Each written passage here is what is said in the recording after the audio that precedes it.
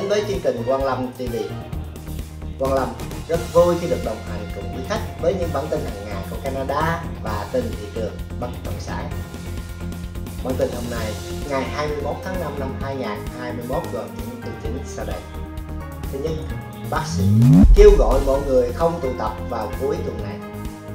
Thứ hai, hóa đơn tiền nước trị giá 5.488 vì nhà vệ sinh bị rò rỉ khi đi vắng. Thứ ba, tin thị trường bất động sản. Người mua nhà lần đầu đang cảm thấy bị áp lực. Sau đây là phần tin chi tiết. Thứ nhất, bác sĩ kêu gọi mọi người không tụ tập vào cuối tuần này. Bác sĩ hàng đầu của Toronto đang kêu gọi người dân thành phố không tụ tập vào long weekend ngày Victoria sắp tới khi các quan chức y tế tiếp tục cố gắng giảm tỷ lệ nhiễm Covid-19. Tiến sĩ Eileen De Villa lưu ý rằng sau mỗi kỳ nghỉ long weekend trong năm ngoái, Toronto đã chứng kiến sự gia tăng các ca nhiễm Covid-19. Bà khuyến khích mọi người tận hưởng thời tiết tốt đẹp nhưng bà kêu gọi mọi người tiếp tục lưu tâm đến các biện pháp sức khỏe cộng đồng. Trong khi tỷ lệ lây nhiễm đang có xu hướng giảm gần đây, các quan chức y tế và các chuyên gia về bệnh truyền nhiễm đã cảnh cáo rằng tỉnh bang có thể trải qua đợt thứ tư khắc nghiệt, nếu tỉnh mở cửa trở lại quá nhanh.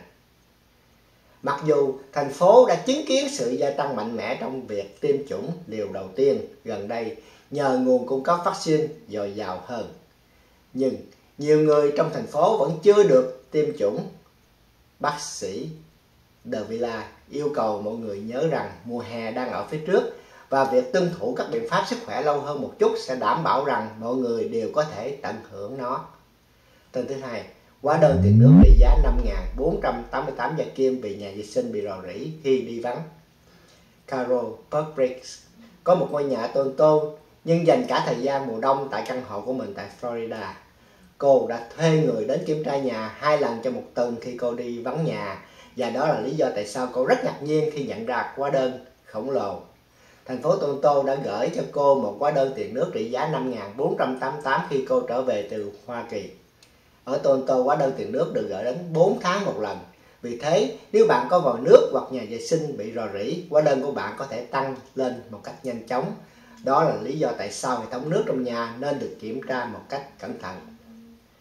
Trong một số trường hợp, hệ thống nước trong nhà, các thiết bị bị rò rỉ như bồn cầu hoặc vòi nước bị rò rỉ, lượng nước tiêu thụ có thể tăng gấp 24 lần mức bình thường. Chủ sở hữu tài sản có trách nhiệm bảo quản tài sản của họ và đảm bảo hệ thống nước tốt để tránh những chi phí quá cao này. Thành phố cho biết trường hợp khách hàng gặp phải tình trạng hóa đơn cao hơn bình thường, họ có thể liên lạc với thành phố và có thể được yêu cầu cung cấp tài liệu để xác minh thu nhập của họ. Cung cấp bằng chứng về chỗ ở và cung cấp bằng chứng rằng bất kỳ chỗ rò rỉ nào đã được sửa chữa. Nếu khách hàng đáp ứng các tiêu chí đó có trong điều lực, hóa đơn tiền nước có thể được điều chỉnh để phản ảnh đúng mức tiêu dùng bình thường. Cư dân nên để mắt đến đồng hồ nước của bạn và kiểm tra hệ thống nước thường xuyên. Tin thứ ba, tin thị trường bất động sản. Chào mừng quý khách đến với bản tin thị trường bất động sản.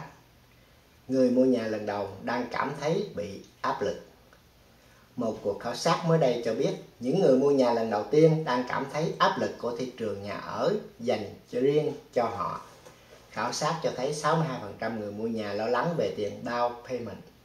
CEO của Sigan, công ty bảo hiểm thế chấp tư nhân lớn nhất Canada cho biết rằng mặc dù Covid-19 đã tác động đến những người mua nhà lần đầu trên khắp Canada, nhiều người đã có thể tiết kiệm và mua nhà của họ sớm hơn dự kiến rào cản gây lo lắng cho những người mua nhà lần đầu là tiền down payment trong bối cảnh giá nhà tăng cao ở nhiều nơi trên cả đất nước Canada.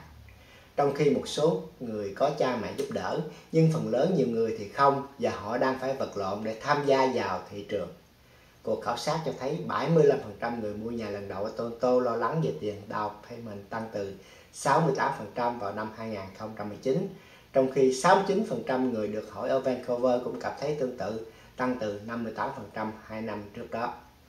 Tại Montreal, thành phố lớn thứ hai của Canada, 63% người trả lời về khảo sát lo lắng về việc đủ tiền down payment tăng từ 60% vài năm trước. Những người mua nhà lần đầu phải xem xét kỹ lưỡng những gì họ được chấp thuận. Họ nên nhận ra rằng mong muốn và nhu cầu về ngôi nhà đầu tiên của họ. Vì thế, trước tiên, hãy tập trung vào chọn lựa căn nhà trong khả năng tài chính của mình.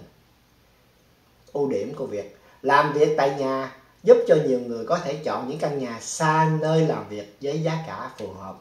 Đây là lợi thế đối với nhiều người mà họ không có được trước đại dịch Covid-19. Tin thị trường bất động sản đã kết thúc bản tin ngày hôm nay. Khi quý khách có nhu cầu mua bán nhà kênh đồ, vui lòng liên lạc trực tiếp với Hoàng Lâm theo số điện thoại 416 804 5111 hoặc vào đăng nhà của team Hoàng Lâm. Đặc biệt bán nhà cho quý khách tiền hoa hồng cho team Hoàng Lâm chỉ có một phần trăm. Lâm xin chân thành cảm ơn quý khách. Chúc quý khách sức khỏe bình an với nhiều tin vui trong công việc và cuộc sống. Quang Lâm Xin chào và gặp lại quý khách trong những bản tin kỳ tới.